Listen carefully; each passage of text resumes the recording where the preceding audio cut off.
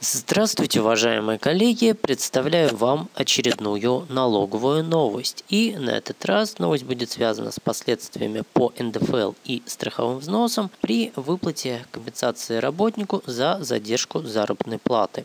Именно данному вопросу посвящены письма Минфина, реквизит которых вы видите. Вообще здесь следует заметить, что сейчас идет просто вал этих писем, а значит и был вал запросов по данному аспекту. И с чем это связано, не совсем понятно. Рассматривая эту ситуацию, во-первых, Минфин указывает на то, что компенсация за задержку заработной платы не возмещает работнику каких-либо затрат и потерь. Соответственно, такая компенсация подлежит обложению НДФЛ в установленном порядке. Здесь сразу следует заметить, что этот вывод Минфина не новый, и ранее уже он озвучивался в других письмах, и одно из таких писем я рассматривал на канале. Однако эта позиция Минфина развивается.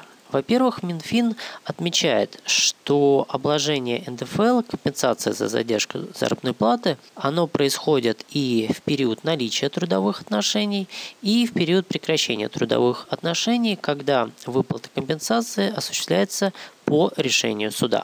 Также Минфин отмечает, что применительно к страховым взносам, опять же, соответствующие компенсации, они не упоминаются в статье 422 налогового кодекса и, соответственно, они подлежат обложению страховыми взносами в общем установленном порядке, как выплата в рамках трудовых отношений. Здесь, правда, применительно к страховым взносам возникает вопрос. Обложению подлежат эти суммы как при наличии трудовых отношений, так и после прекращения трудовых отношений либо все-таки когда пока действуют трудовые отношения. Но такого уточнения пока Минфин не давал. В любом случае работодателям которые выплачивают соответствующие компенсации, а также работникам, необходимо принять во внимание данное разъяснение Минфина. А на этом все. Спасибо за внимание. До скорых встреч.